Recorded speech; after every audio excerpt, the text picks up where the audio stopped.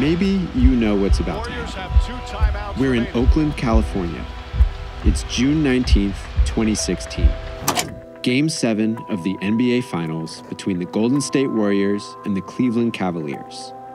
Check the score and the time remaining. Barring disaster, the Cavaliers are about to win the first NBA championship in the 46 year history of the franchise. Cleveland fans have waited half a century for this moment. Before we witness it, we must give that drought a close examination.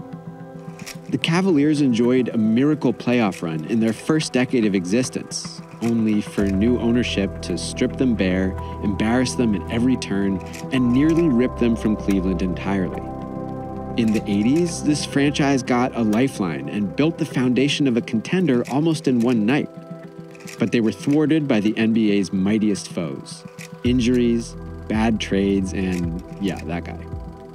Cleveland followed another miserable era with what felt like a gift from God, perhaps the greatest prospect ever, born and raised in Ohio, delivered by lottery to his hometown team, only for new ownership and weak management to fail their centerpiece, then drive him away.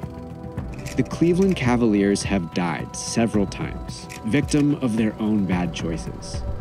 Yet here they stand, alive, about to win a championship. To understand how much this means, we need to rewind. Like, really, really.